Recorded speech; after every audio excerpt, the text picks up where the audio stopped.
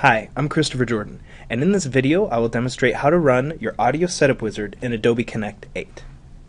To run the Audio Setup Wizard, select Meeting from the menu on the top left, and select Audio Setup Wizard.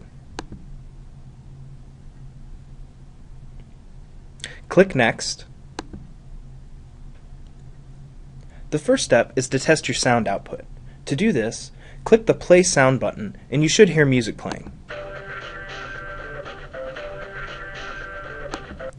If you don't hear the music, please make sure that your headset is plugged in and that your sound is not muted and turned up to a sufficient level. When you hear the music, click Next. The second step is to select the microphone that you would like for your audio input. To do this, use the drop-down menu to select the microphone. If you have a headset, like a Logitech, it should show up in this menu. If it doesn't, you'll need to unplug the headset and plug it back in. Once you've selected the microphone you'd like to use, click the Next button. Now you will be asked to test the microphone input. To do this, click the Record button and say something. You may be asked to allow or deny access to the microphone by Adobe Connect.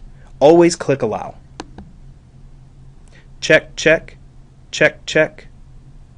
As you speak, you should see the audio levels move up and down. If you don't, make sure that your microphone is plugged in properly and that it's not muted in your operating system.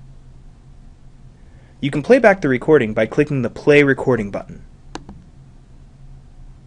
Check, check, check, check. If you hear yourself, click Next. The last step is to test silence. To do this, click the Test Silence button and remain quiet until the progress bar is filled.